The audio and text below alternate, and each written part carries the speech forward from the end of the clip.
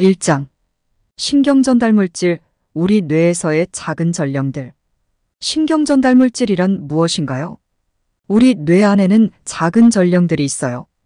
이들을 신경전달물질이라고 부릅니다. 마치 문자 메시지나 이메일처럼 뉴런이라는 뇌세포들 사이에 정보를 전달하는 역할을 해요. 이 전령들은 우리가 무언가를 느끼거나 생각하거나 움직일 때 마다 바삐 움직여서 뉴런들이 서로 대화할 수 있게 돕죠. 신경전달 물질은 어떻게 분류되나요? 이 전령들은 크게 두 팀이 있어요. 하나는 작용성 전령들인데 이 친구들은 뇌세포의 활동을 바로 조정해줍니다. 예를 들어 누군가 당신의 이름을 부르면 바로 귀를 기울이게 만드는 그런 역할이죠. 또 다른 팀은 조절성 전령들로 이들은 조금 더 뒤에서 일하며 다른 전령들의 활동을 조절해줍니다. 신경전달 물질은 어떻게 만들어지고 사라지나요? 이 전령들은 우리 몸의 원료에서 만들어지고 뇌세포 안에서 특별한 작은 주머니에 저장된답니다. 뇌세포가 이야기할 시간이야. 하고 신호를 받으면 이 전령들은 주머니에서 나와 다음 세포로 정보를 전달해요. 이야기가 끝나면 전령들은 다시 원래 자리로 돌아가거나 몸이 그들을 지우개로 지워서 다음 메시지를 위해 자리를 비워준답니다. 왜 신경전달 물질이 중요한가요? 이 전령들이 없다면 우리 뇌는 정상적으로 작동할 수 없어요. 우리가 배우고 기억하고 집중하고 느끼는 모든 것이 이 전령들의 원활한 작동에 달려 있죠. 보통 때는 이 전령들이 잘 균형을 이루며 우리 몸을 잘 지원해요. 하지만 가끔 이 균형이 깨지면 우리의 기분이나 생각, 심지어 건강에도 문제가 생길 수 있답니다. 2장. 노르에피네프린 우리 기분의 조율사. 노르에피네프린이란 무엇인가요? 노르에피네프린은 우리 몸의 활기찬 작은 전령이에요. 뇌과학자들이 특히 관심을 가지고 연구하는데 왜냐하면 이 물질이 우리가 어떻게 느끼고 행동하는지에 굉장히 중요한 영향을 미치거든요. 노르에피네프린은 어떻게 만들어지나요? 노르에피네프린은 우리 뇌 속에서 만들어지는데 단백질을 구성하는 아미노산 중 하나인 티로신에서 시작해요. 티로신이 여러 단계를 거쳐 도파민이라는 다른 전령으로 변신한 후 한 번 더 변해서 노르에피네프린이 되죠. 이 모든 과정은 우리 몸의 미세한 화학 공장에서 일하는 특별한 효소들이 돕는답니다. 노르에피네프린은 어떤 역할을 하나요? 이 전령이 우리 몸 밖으로 나와서 뇌세포의 기분이 어때? 하고 물어보는 특별한 잠금 장치들과 결합해요. 이렇게 하면 우리 몸은 기분 좋아지거나 주에 집중하거나 활동적이 되는 등 다양한 반응을 보여요.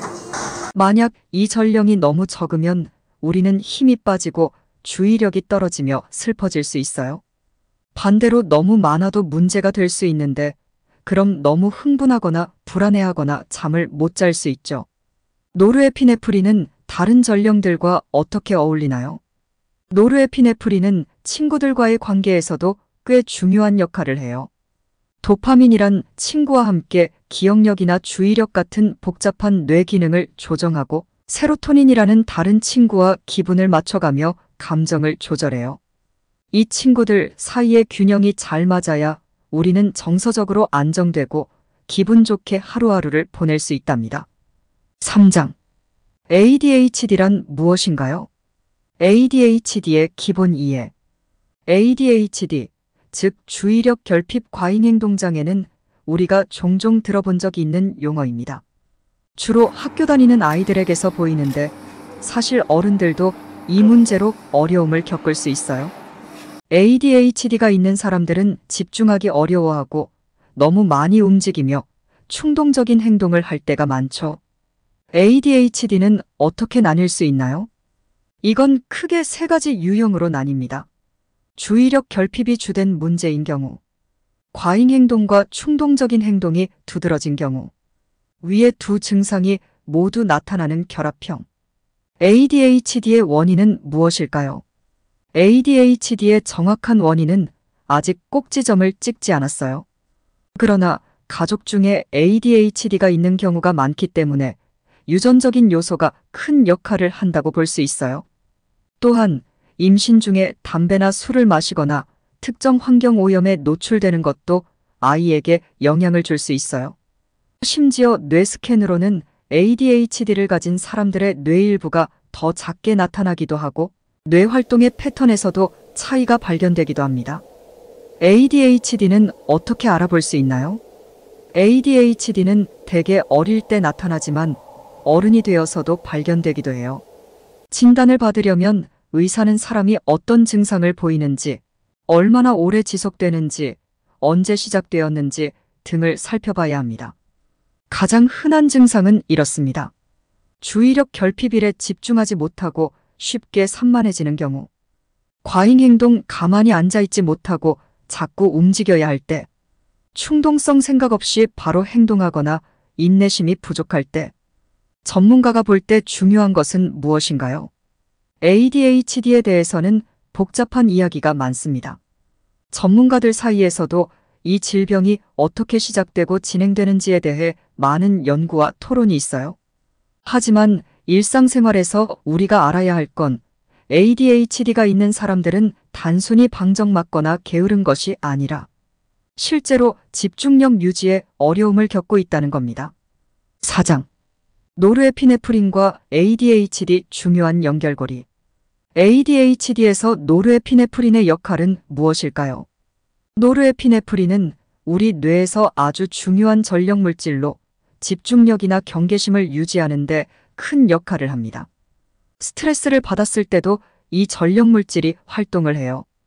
ADHD를 가진 사람들은 집중을 잘 못하고 너무 많이 움직이며 충동적인데 이런 증상들이 노르에피네프린과 연결될 수도 있다는 연구 결과가 있어요. 특히 이 전력 물질이 부족하면 ADHD의 특징인 산만함, 충동성, 그리고 과활동이 나타날 수 있습니다. 노르에피네프린을 활용한 ADHD 치료. ADHD 증상과 노르에피네프린 수준 사이에 이런 관계를 보면서 의사들은 노르에피네프린의 활동을 조정하는 약물을 치료에 사용하기 시작했습니다. 아토모세틴이라는 약물은 노르에피네프린의 재사용을 억제해서 집중력을 높이고 과도한 행동을 줄이는 데 도움을 준다고 알려져 있죠. 이런 약물들은 환자 한 사람 한 사람에게 맞춤화된 방식으로 다른 치료와 함께 또는 따로 사용될 수 있습니다. 노르에피네프린과 ADHD 연구는 어디까지 왔나요? ADHD와 노르에피네프린 사이의 관계를 파악하기 위한 연구는 아직도 진행 중입니다. 노르에피네프린 말고도 도파민이나 세로토닌 같은 다른 전력 물질들도 ADHD에 영향을 준다는 사실이 밝혀지면서 이런 다양한 전력 물질들이 어떻게 상호작용하는지 연구가 계속되고 있어요. 연구자들은 유전, 환경, 심지어 뇌의 구조, 변화 같은 다양한 요소들이 노르에피네프린과 ADHD 증상에 어떤 영향을 미치는지도 살펴보고 있습니다. 이와 같이 노르에피네프린과 ADHD 사이에 복잡한 연결고리를 가지고 있고 이런 정보는 ADHD 증상을 이해하고 앞으로 더 좋은 치료법을 개발하는 데 큰 도움이 될 것입니다. 5장 ADHD와 뇌 속의 화학적 조화 도파민 ADHD의 활동가 도파민은 우리 뇌의 활동가입니다. 이는 우리가 보상을 받았을 때 무언가에 동기를 부여할 때 활동하는 신경 전달 물질이죠. 연구에 따르면 ADHD를 가진 사람들은 도파민과 관련된 시스템에 약간의 차이가 있다고 해요. 예를 들어 뇌에서 도파민을 운반하는 트럭 같은 존재인 도파민 수송체가 평소보다 많을 수 있고 이는 도파민의 양을 줄여서 집중력이나 활동 수준에 영향을 줄 수 있어요. 그래서 ADHD 치료에는 주로 도파민 수준을 조절하는 약물을 사용합니다. 이러한 약물들은 도파민이 더 오래 뇌에서 작용할 수 있도록 돕는데 이는 집중력을 높이고 과잉 행동을 줄일 수 있어요. 세로토닌 기분의 조율사. 세로토닌은 우리 기분을 조율하는 또 다른 중요한 신경 전달 물질입니다. ADHD를 가진 사람들은 때때로 불안이나 우울 같은 다른 문제도 함께 겪는데 이 경우 세로토닌이 중요한 역할을 할 수 있어요. 연구에 따르면 세로토닌 수준이나 세로토닌의 잠금 장치인 수용체에 변화가 ADHD 증상과 관련이 있을 수 있어요. 그래서 때때로 세로토닌 수준을 조절하는 약물도 ADHD 치료에 쓰일 수 있는데 이는 주로 동반된 불안이나 우울 증상을 완화하는 데 도움을 줍니다. 그 외에 신경 전달 물질들. ADHD에는 노르에피네프린처럼 집중력과 차분함을 돕는 다른 신경 전달 물질들도 영향을 줄 수 있어요. 또한 GABA나 글루타메이트와 같은 신경 전달 물질들도 뇌의 활동을 조절하는 데 중요한 역할을 하고 이들이 ADHD에 어떻게 작용하는지 연구가 진행 중이에요. 여기서 우리는 ADHD와 관련된 다양한 신경 전달 물질들을 알아봤어요. ADHD는 신경 전달 물질들의 복잡한 대화와 같아서 이를 이해하는 것은 증상을 다루고 효과적인 치료법을 찾는 데 아주 중요합니다. 6장 미래를 향한 ADHD 치료의 새로운 지평 신경 전달 물질을 중심으로 한 혁신적인 ADHD 치료 의학과 신경과학의 발전은 ADHD 치료에 획기적인 변화를 가져오고 있습니다. 지금까지의 연구는 우리 뇌 속의 신경 전달 물질이 어떻게 ADHD의 증상과 연결되는지를 밝혀내고 있어요.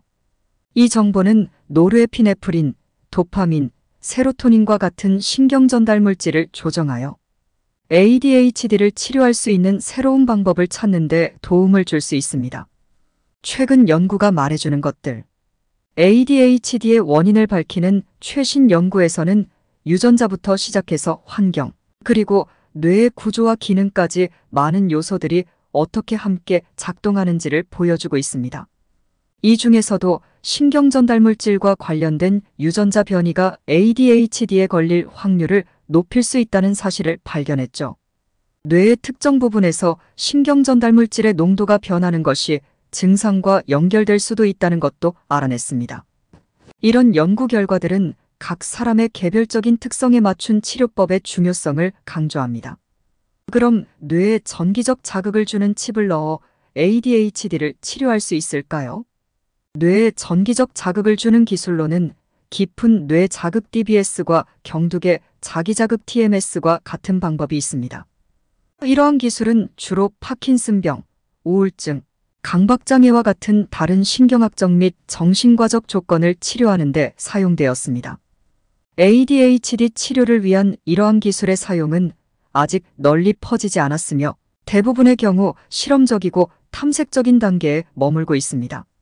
TBS는 신경조직에 직접 전극을 삽입하여 특정 뇌 부위에 지속적인 전기 자극을 제공하는 치료법입니다.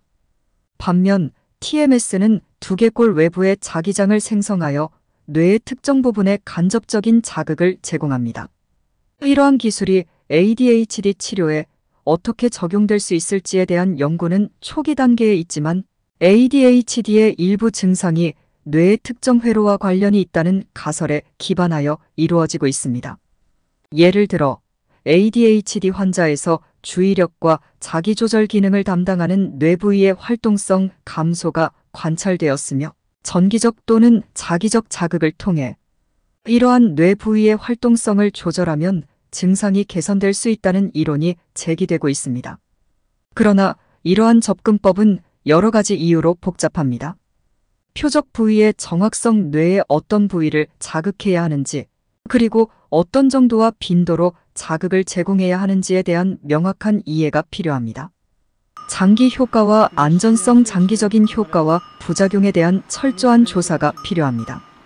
윤리적 고려 특히 아동이나 청소년을 대상으로 하는 경우 윤리적 고려가 매우 중요합니다. 규제 승인 이러한 기술들은 각국의 규제기관의 승인을 받아야 하며 임상시험을 통해 효과와 안전성이 입증되어야 합니다. 뇌에 전기적 자극을 주는 칩을 이용한 ADHD 치료에 대한 연구는 계속 진행 중이며 미래에는 이 방법이 ADHD 치료의 유용한 도구가 될 수도 있습니다. 하지만 현재로서는 전통적인 치료 방법 약물 치료, 행동 치료 등이 주로 사용되고 있으며 새로운 치료법에 대한 임상적 증거는 아직 충분하지 않습니다. 앞으로의 ADHD 치료는 단순히 증상을 줄이는 것을 넘어 각 개인의 유전적이고 생물학적인 특성을 고려한 맞춤형 치료로 발전할 것으로 보입니다. 이것은 약물 치료는 물론 행동 치료, 신경 피드백, 신경 자극과 같은 다양한 방법을 결합하여 이루어질 수 있습니다. 뇌 속 신경 전달 물질의 수준을 직접 측정하고 조절하는 기술도 발전하고 있기 때문에 미래에는 더 체계적이고 효과적인 ADHD 치료법을 기대할 수 있을 것입니다. 오늘은 청소년들 사이에 많이 문제가 되고 있는 ADHD와 관련된 노르에피네프린, 신경전달 물질에 대해 알아보았습니다. 물론 신경전달 물질로만 복잡한 뇌 현상을 설명할 수는 없겠지만 이 메커니즘에 대해 좀 더 잘 안다면 스스로를 스트레스나 유해 환경에서 보호할 수 있도록 준비하는 과정으로 받아들이면 좋을 것 같습니다. 의상 토트샘의 사이언스 캐치였습니다.